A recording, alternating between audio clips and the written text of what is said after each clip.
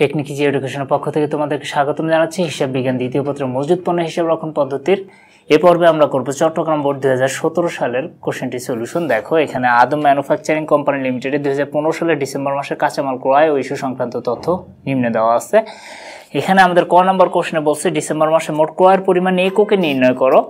খতে বলতেছে, এত এত তারিখের লেনদেনগুলো ফিফো পদ্ধতিতে মাল খতিয়ান প্রস্তুত করে এবং গতে বলতেছে, এত এত তারিখের লেনদেনগুলোর তথ্য ব্যবহার করে ভারযুক্ত গড় পদ্ধতিতে মাল খতিয়ান প্রস্তুত করো তো ফার্স্টে আমরা কি করব? ক নম্বর কোশ্চেনটা সলভ করব। দেখো, ক নম্বর কোশ্চেনে বলছে যে, ডিসেম্বর মাসের মোট ক্রয়ের পরিমাণ নির্ণয় করতে এককে। তাহলে ডিসেম্বর মাসে আমরা ক্রয় করছি কয়টা? দেখো, ডিসেম্বর সাত তারিখে আছে, ডিসেম্বরের ষোলো তারিখে আছে, ডিসেম্বরের একুশ তারিখে আছে।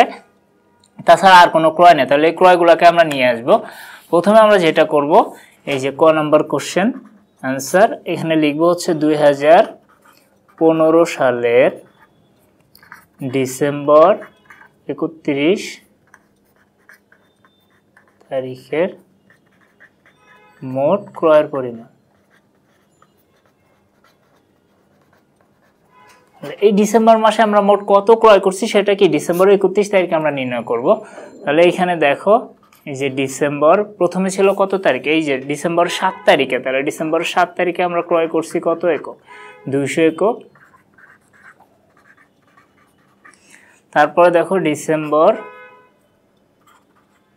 ষোলো তারিখে হচ্ছে ক্রয় করছি, তিনশো পঞ্চাশ একক। আর ডিসেম্বর একুশ তারিখে আমরা ক্রয় করছি, চারশো দশ একক।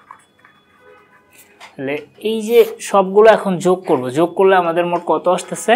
নয়শো ষাট একক। এটা হচ্ছে আমাদের অ্যান্সার এখন তোমরা একটু খেয়াল করো, এখানে কিন্তু আমাদের বলেন টাকা নির্ণয় করতে বলছে, পরিমাণটাকে কি? এককে নির্ণয় করো। তাহলে আমাদের মোট পরিমাণ হচ্ছে কত? নয়শো ষাট একক। আমরা এককে এটা নির্ণয় করছি। আশা করি তোমরা ক নম্বর বুঝতে পারছ। এটা হচ্ছে আমাদের ক নম্বর কোশ্চেনের অ্যান্সার তারপরে আমরা যাব হচ্ছে কি?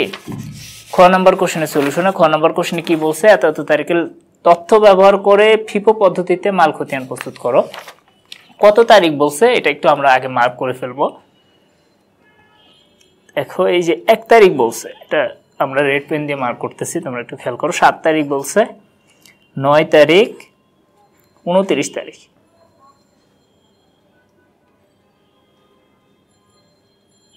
এই যে আমাদের গুদাম রক্ষক উনত্রিশ তারিখে চল্লিশ একক মাল ঘাটতি পেয়েছেন। এই উনত্রিশ তারিখেটা দেখো আমাদের শিডিউলে নাই, কিন্তু তোমরা একটা জিনিস মনে রাখবা, যদি সমন্বয়ের মধ্যে, দেখো এগুলো কিন্তু সিরিয়ালে ছিল গ্রাজুয়ালি বাট এই দেখো এটা কিন্তু সমন্বয় দেওয়া আছে। গুদাম রক্ষক উনত্রিশ তারিখে চল্লিশ একক মাল ঘাটতি পেয়েছেন। আমরা যখন এইরকম কোনো মাসের কোনো একটা লেনদেন সমন্বয়ের মধ্যে পাবো, তাহলে সিরিয়াল ওয়াইজ দেখো, এই যে একুশ তারিখের পরে আঠাশ তারিখ আছে, আঠাশ তারিখের পরে একত্রিশ, তাহলে আঠাশ আর একত্রিশের মাঝখানে কিন্তু এই উনত্রিশ তারিখটা আমরা বসাবো, মনে রাখবা।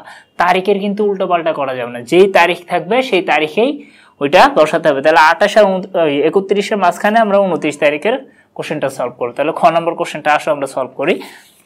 এই যে এটা হচ্ছে আমাদের অ্যান্সার স্ক্রিপ্ট খ নম্বর কোশ্চেন এখন আমরা কি করব? এই যে ফার্স্টে লিখব হচ্ছে আদম ম্যানুফ্যাকচারিং কোম্পানির আদম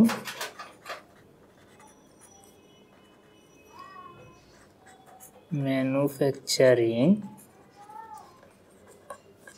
কোম্পানির মাল খতিয়ান কোন পদ্ধতি? ফিফো পদ্ধতিতে, এই যে ফিফো আমরা লিখে দিব। ফিফো পদ্ধতি। ফার্স্টে আমরা এখানে ডেট নিয়ে আসব দুই হাজার পনেরো সালের ডিসেম্বর। এক তারিখে কি? প্রারম্ভিক জের, তাই না? তাহলে এই যে প্রারম্ভিক উদ্বৃত্ত বা জের, যেটা লিখো একই কথা ব্যালেন্স বিডি প্রারম্ভিক জের উদ্বৃত্ত, তোমরা যেটা লিখব সেটা হবে। এখানে আমাদের কত ছিল? চারশো একক দেখো, আমি যেই ডেটগুলোকে রেড মার্ক করছি, এই যে উনতিরিশ নয় সাত আর এক। এই দেখো আমাদের কোশ্চেনে বলা আছে, এক, সাত, নয়, উনত্রিশ। এই কয় তারিখের লেনদেনগুলো দিয়ে ফিফো পদ্ধতিতে মাল খতিয়ান করব। তাহলে এক তারিখে আমরা প্রারম্ভিক জেন নিয়ে আসব, হচ্ছে চারশো একক পাঁচ টাকা দরে। এই যে পরিমাণ হচ্ছে চারশো একক দর হচ্ছে পাঁচ টাকা করে। তাহলে পাঁচ টাকা করে চারশো একক কত হয়? দুই হাজার টাকা। একটা নিয়ে আসলাম। এবার আমরা এটাকে কি? মার্জিন করে রাখি। দেন দেখো আছে হচ্ছে সাত তারিখ। সাত তারিখে কি করছে? সাত তারিখে হচ্ছে ক্রয় করছে। তাহলে ডিসেম্বর সাত তারিখ, এখানে লিখব হচ্ছে ক্রয়। কত একক ক্রয় করছে? দুইশো একক। দুইশো একক ক্রয় করছে কত টাকা দেয়? দশ টাকা চল্লিশ পয়সা দরে তাহলে আমরা নিয়ে আসব হচ্ছে ক্রয় দুইশো একক। দশ টাকা চল্লিশ পয়সা দরে আমাদের হচ্ছে দুই হাজার আশি টাকা। এইবার দেখো, আগের জেটটাকে নিচে নামাও, এই যে চারশো একক। চারশো একক, পাঁচ টাকা দরে, দুই হাজার টাকা। আর এখন যেটা ক্রয় করলাম, এটাকে নিয়ে আসব, এই যে দুইশো একক, দশ টাকা চল্লিশ পয়সা দরে, দুই হাজার আশি টাকা।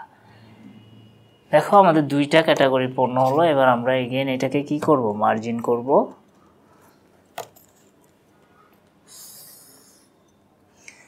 তারপরে সাত তারিখের পরে ছিল নয় তারিখ। নয় তারিখে কি বলতেছে? দেখো, নয় তারিখে বলছি ইস্যু করছে চারশো দশ একক। দেখো, এটা কিন্তু ফিফো পদ্ধতি, তোমরা মনে রাখবা। তাহলে ফিফো পদ্ধতিতে আমরা এই যে কত তারিখ? নয় তারিখ, জানুয়ারি নয় তারিখে আমরা ইস্যু করতেছি। এই যে ইস্যু এখন এই যে বিক্রয় বা ইস্যুর ঘর এটা, এখানে হচ্ছে আমরা কি? কত একক বিক্রি করতেছি? চারশো দশ একক। এই দেখো, চারশো দশ একক। তাহলে নিয়ে আসো চারশো দশ একক। তাহলে এই যে চারশো দশ এককের মধ্যে দেখো ফিফো পদ্ধতিতে প্রথমে আছে চারশো একক। তাহলে এই চারশো একক আগে বিক্রি করে দিই পাঁচ টাকা দরে দুই হাজার টাকা। এখনও কত একক দিতে হবে? দশ একক। তাহলে এই দুইশো একক থেকে এখন আমরা দশ একক বিক্রি করব। এই যে দশ একক, দশ টাকা, চল্লিশ পয়সা দরে। তাহলে কত হবে? একশো চার টাকা। দেখো বিক্রি করার পরে এটা তো আমাদের শেষ, নাই। দুশো একক থেকে দশ একক বিক্রি করলে কত একক থাকে? একশো নব্বই একক দশ টাকা চল্লিশ পয়সা দরে। কত হবে আমাদের? একশো নব্বই একক দশ টাকা চল্লিশ পয়সা দরে হবে এক হাজার নয়শো ছিয়াত্তর টাকা। তাহলে এবার এটাকে আমরা এগেন কি করব? মার্জিন করব।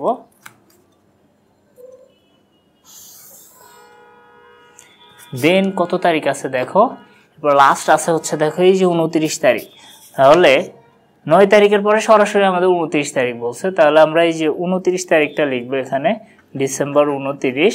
এখানে লিখব কি ঘাটতি? দেখো বিবরণীতেও কিন্তু ঘাটতি লেখা আছে, একটু খেয়াল করো। এই যে গুদাম রক্ষক উনত্রিশ তারিখে চল্লিশ একক মাল ঘাটতি পেয়েছেন, তাহলে ঘাটতিটাকে আমরা নিয়ে আসব। তোমরা মনে রাখবা, কারখানা থেকে কোনো পণ্য ফেরত দিলে সেটাকে আমরা কোথায় নিয়ে আসি? ক্রয়ের ঘরে নিয়ে আসি। আর কোনো পণ্য যদি ঘাটতি দেখায়, তখন সেটাকে বিক্রয়ের ঘরে নিয়ে আসবা। তাহলে হচ্ছে এই যে ঘাটতি পণ্য কত একক ছিল? চল্লিশ একক। তাহলে আমরা হচ্ছে এইখান থেকে চল্লিশ একক বিক্রয়ের ঘরে নিয়ে আসব। এই যে চল্লিশ একক, কত টাকা ধরে? আমাদের এখানে আছে হচ্ছে কত? দশ টাকা চল্লিশ পয়সা ধরে। এই দেখো দশ টাকা চল্লিশ পয়সা ধরে আছে। তাহলে এটাকে আমরা নিয়ে আসব। চল্লিশ একক আমরা লিখে ফেললাম। এখন এটার দর হচ্ছে দশ টাকা চল্লিশ পয়সা করে। কত হবে? চারশো ষোলো টাকা। এটা দিয়ে দেওয়ার পরে আমাদের একশো নব্বই থেকে চল্লিশ গেলে আর কত একক থাকে? আমাদের থাকে হচ্ছে একশো পঞ্চাশ একক। দশ টাকা চল্লিশ পয়সা দরে কত হবে? এক হাজার পাঁচশো ষাট টাকা। এইটাই হচ্ছে আমাদের কি? অ্যান্সার আশা করি তোমরা বুঝতে পারছ।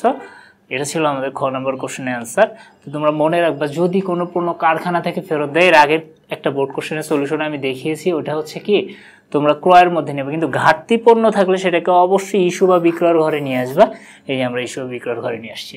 আশা করি তোমরা খ নম্বর কোশ্চেনটা বুঝতে পারছ। এবার আমরা সলভ করব হচ্ছে আমাদের গ নম্বর কোশ্চেনটা দেখো, গ নম্বর কোশ্চেনে কি বলতেছে? এক এগারো উনিশশো একুশ তারিখে তথ্য ব্যবহার করে ওয়াম পদ্ধতিতে মাল ক্ষতি ওয়াম মিনস হচ্ছে কি ওয়েটেড অ্যাভারেজ মেথড বা ভারযুক্ত গড় পদ্ধতি। তো এই পদ্ধতিতে আমরা সলভ করার আগে আমরা আমাদের তারিখের লেনদেনগুলোকে মার্ক করে ফেলি আবার আগের মতো। দেখো, এক তারিখ ছিল। তাহলে ডিসেম্বরে এক তারিখ আমরা এই যে ব্লু পেন দিয়ে মার্ক করলাম দেন এগারো তারিখকে মার্ক করব, উনিশ তারিখ দেন একুশ তারিখ। কয়টা হলো? চারটা, দেখো। একুশ তারিখ, উনিশ তারিখ, এগারো আর এক তারিখ, এই চারটা। চারটা ডেট দিয়ে আমরা এখন কি? ভারযুক্ত গড় পদ্ধতিতে একটা মাল খতিয়ান প্রস্তুত করব। তাহলে এটা হচ্ছে আমাদের গ নাম্বার কোশ্চেনের সলিউশন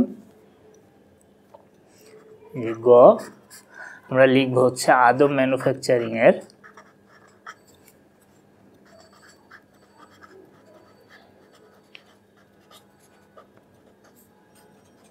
কোম্পানির মাল খতিয়ান। কোন পদ্ধতি এটা? এটা হচ্ছে ওয়াম, ওয়েটেড অ্যাভারেজ মেথড বা ভারযুক্ত গড় পদ্ধতি। তোমরা এই যে পুরো ভারযুক্ত গড় পদ্ধতি না লিখে শর্টে হচ্ছে ওয়াম লিখবা, তাহলে তোমাদের কি? কাজটা করতে সহজ হবে। এটা ছিল আমাদের দু হাজার পনেরো সাল, এই যে দু হাজার পনেরো ডিসেম্বর এক তারিখ আছে, দেখো আমাদের কোশ্চেন ডিসেম্বর এক তারিখ। আমরা কোন কোন তারিখ মার্ক করছিলাম? এক, এগারো, উনিশ এবং একুশ তারিখ। তাহলে আমরা ফার্স্টে এক তারিখটা নিয়ে আসি। ডিসেম্বর এক তারিখে কি? প্রারম্ভিক মজুদ বা প্রারম্ভিক জের, যেটাই লেখো। এটা আমাদের কত একক ছিল? চারশো একক। তাহলে এখানে আমরা চারশো একক লিখব। পাঁচ টাকা করে দুই হাজার টাকা। দেন এটাকে কী করব? মার্জিন করব।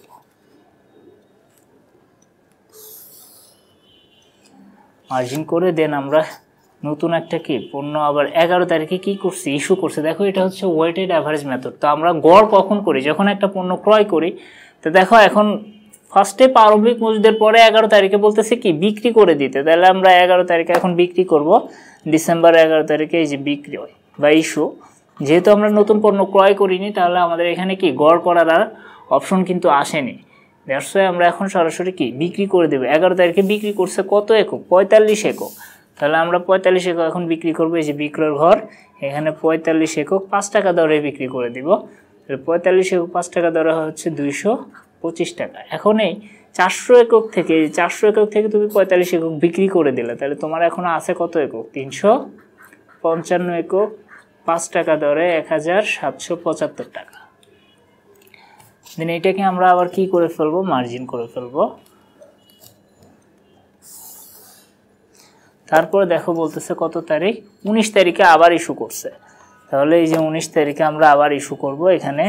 উনিশ তারিখ ডিসেম্বর ইস্যু কত একক ইস্যু করছে উনিশ তারিখে? দুইশো দশ একক। এখানে আমাদের তিনশো পঞ্চান্ন একক আছে। তাহলে আমরা দুইশো দশ একক বিক্রি করতে পারব। দুইশো দশ একক, পাঁচ টাকা দরে কত? এক হাজার পঞ্চাশ টাকা।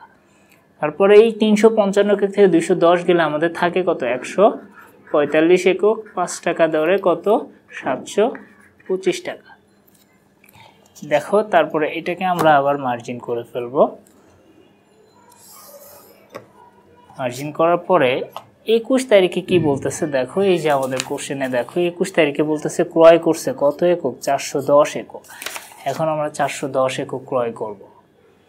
এই যে একুশ তারিখ, দেখো এটা আমরা অন্য পেন দিয়ে করি। এই যে একুশ তারিখ ক্রয়। কত একক? চারশো দশ একক। কত টাকা দরে? এগারো দশমিক আশি। এগারো টাকা আশি পয়সা করে আমাদের এটার প্রাইস হচ্ছে চার হাজার আটশো আটত্রিশ টাকা। এইবার আমরা এটার কি গড় করব যে এটা আমরা এই পদ্ধতিতে করে থাকি। একটু খেয়াল করো, এখানে হচ্ছে আমাদের প্রারম্ভিক উদ্বৃত্তে কত একক আছে? সাতশো পঁচিশ টাকায় হচ্ছে একশো পঁয়তাল্লিশ একক। আর নতুন আমরা যেটা ক্রয় করছি সেটা হচ্ছে চার হাজার আটশো আটত্রিশ টাকার চারশো দশ একক।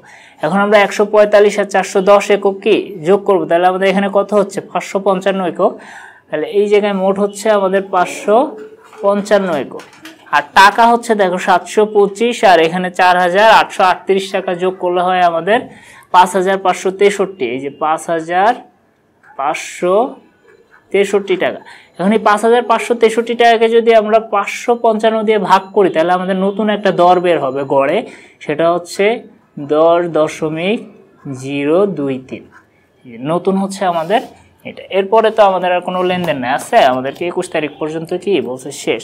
তাহলে আমরা এটাকে মার্জিন করব এবং এই যে অ্যামাউন্ট এটাকে এইভাবে ক্লোজ করে দেখিয়ে দেব। আশা করি তোমরা বুঝতে পারছ এটা। তো এই ছিল আমাদের গ নম্বর কোশ্চেনের সলিউশন ছিল হচ্ছে চট্টগ্রাম বোর্ড দু হাজার সতেরো সালের বোর্ড কোশ্চেন, তো তোমরা বুঝতে পারছ। তো এরপরে যে বোর্ড কোশ্চেনটা সলভ করব সে পর্যন্ত তোমার সাথে ভালো থাকো এবং আমার সাথে থেকো। আজ এই পর্যন্ত আল্লাহ হাফিজ।